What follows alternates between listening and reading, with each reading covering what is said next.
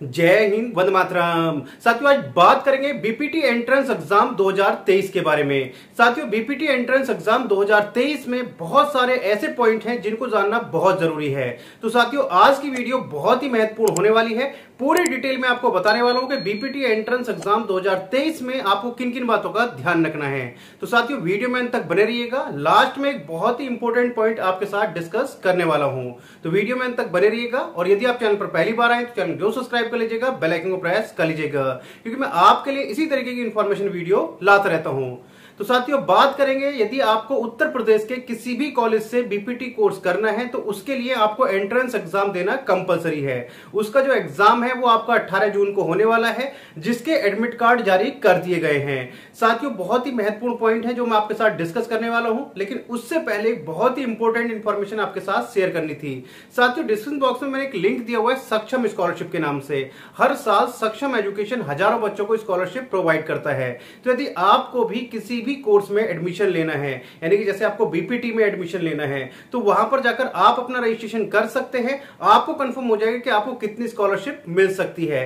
ये जो स्कॉलरशिप होगी, ये गवर्नमेंट से अलग होगी। ये आपकी अप टू हंड्रेड परसेंट तक स्कॉलरशिप दी जाती है। तो वहाँ पर जाकर आप अपना रजिस्ट्रेशन कर सकते हैं। रजिस्ट्रेशन बिल्कुल फ्री ऑफ़ कॉस्ट है। और ज़्यादा से ज़्यादा बच्चों में भी शेयर कर सकते हैं।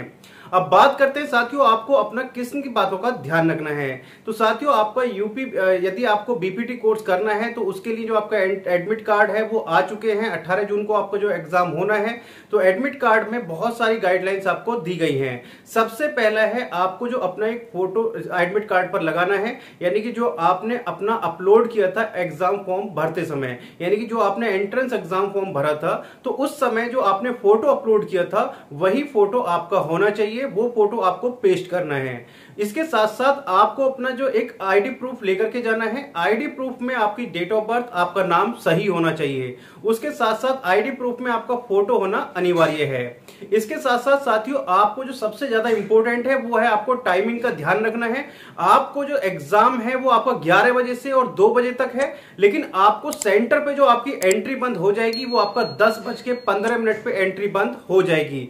तो आपको सेंटर पे टाइम से पहुँचना है। यदि आप दस बज के पंद्रह मिनट के बाद पहुँचते हैं तो आपकी एंट्री नहीं होगी।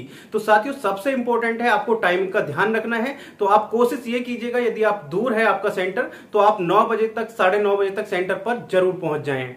इसके साथ साथ साथियों आगे बात करें कि आप किसी भी प्रकार का, इस प्रकार का आपका मटेरियल नहीं होना चाहिए, क्योंकि जो एग्ज़ाम है वो बहुत ही सख्त होने वाला है, कड़ी निगरानी में होने वाला है। यदि आप किसी भी प्रकार का आपका, इस टाइप का मटेरियल अगर आपका पकड़ा जाता है तो हो सकता है आपका कैरियर खराब हो जाए। तो कोशिश कीजिएगा आप इस तरीके की चीज़ों में ना पड़े।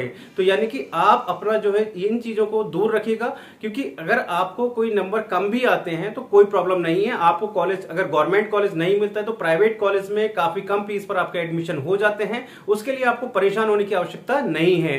तो आप अपना इस प्रकार की चीज़ों का ध्यान रखिएगा, क्योंकि ऑनलाइन और ऑफलाइन दोनों ही तरीके से निगरानी की जाएगी।